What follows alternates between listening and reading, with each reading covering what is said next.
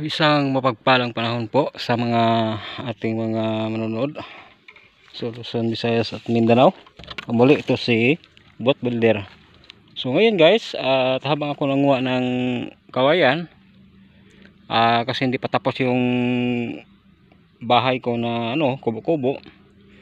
Habang ako nanguha guys, ay may napansin ako dito na ano, kakaibang kawayan, isang sanga ng kawayan na ah yung sanga niya ay pailalim pabaluktot palalim. So ito guys ay isa ding mga pambihirang makikita natin sa isang puno ng kawayan. So ayan guys pakita ko sa inyo. Ayan. Yung sanga na yan. So nakikita natin. Ayan guys ayan So napakabihira lang nito ng ano guys na mga kawayan. Ah minsan mo lang ito makita guys ng ganitong mga klase. Kasi karamihan ng mga kawayan guys ay ay pataas talaga yung sanga niya. Tulad nito guys. Ayan, pataas. So bali ito ay tatlong klase ito yung magkasunod. Ito rin isa guys. Ayan oh yung isa na kawayan na yan guys yung sanga. So kung makikita natin ayan. Yung nakita natin guys. So napakahirap ito guys nang, uh, dami na akong sugat-sugat guys ng kawayan. Ito guys. Ayan. Itong sanga nito ay pailalim din.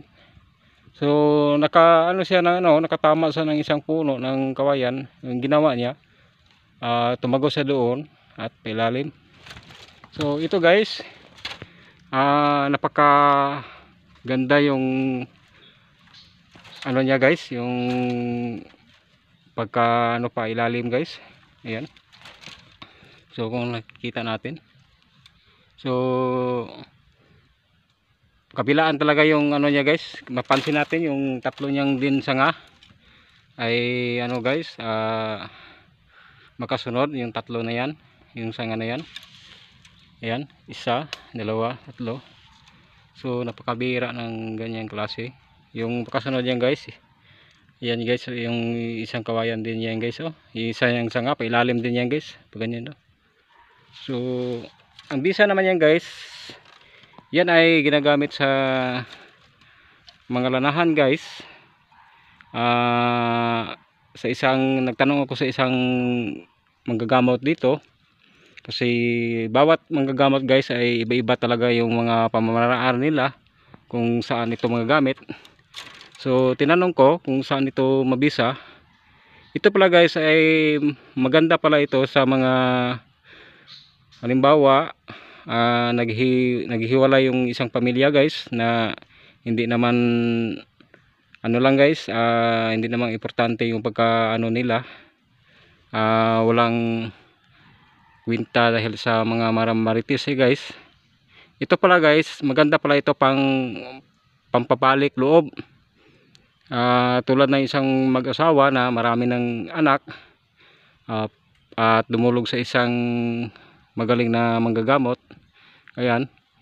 So ito pala ang ginagamit nila isang sangkap sa isang grapa guys So may kalakip na yan na ano, na mga maraming uri ng mga ganyan ng mga klase, hindi lang sa kawayan, yung panumbalik sa baging at sa may mga orasyon at nilalagay nila sa lanahan. So ni ginagawa nila ay nini ritualan nila guys para mas lalong mabisa yung ganyang mga klase halimbawa guys kapag nakakita kayo ng mga kalaban kahit yun lang ang gagawin yung kwintas uh, kukuha kayo ng kapiraso ang sanga na yan at uh, mayroon ding bisa ding ano yan guys tagabulag. So hindi kayo magkaabot guys. Halimbawa kung ikaw ay hinahunting mayroon kang kasalanan na gawa tapos inabang abang-abangan ka ng iyong kalaban. So maganda yan guys. Kahit ganyan lang. So mas mainam na buo yung paniniwala mo guys. Para mas lalong siyang magkabisa. So lahat guys yung mga ganyan mga guys ay mga mutya ng kalikasan. Kasi kalikasan talaga yung gumagawa niyan guys. So napakabihira ng ganyang klaseng mga kawayan so pag makakita kayo ng mga ganyan guys ay dapat nyo nang kunin at lagay nyo lang sa inyong bahay o kukuha kayo ng kapiraso. Kahit gawin yung bracelet guys o pampalaman sa bracelet o hindi kaya gagawa kayo ng mga kwintas na cross pwede yan guys gawin yung cross. So yan na guys at sana ay nagkaroon ako ng idea sa inyo. So hanggang sa muli ito si bot builder. So nagsasabing laging ingat sa ating pang araw-araw na pamumuhay. So bye bye muna guys